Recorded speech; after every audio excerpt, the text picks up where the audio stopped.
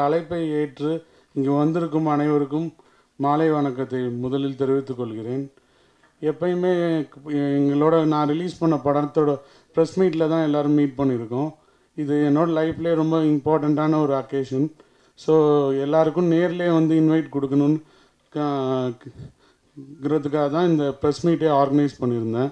எல்லோரும் எப்பயும் நீங்கள் எனக்கு நல்ல சப்போர்ட் கொடுத்துருக்கீங்க. எனக்கும் என் கம்பெனிக்கும் நான் ரிலீஸ் பண்ண படங்களுக்கும். அதே மாதிரியே க இனிமேவும் எனக்கு சப்போர்ட் கொடுங்க.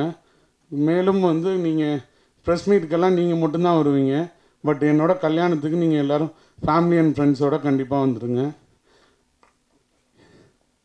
தேங்க்யூ